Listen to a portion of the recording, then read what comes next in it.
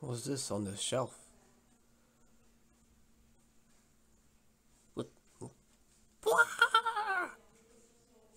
Rabbits go home. Came to Assassin's Creed.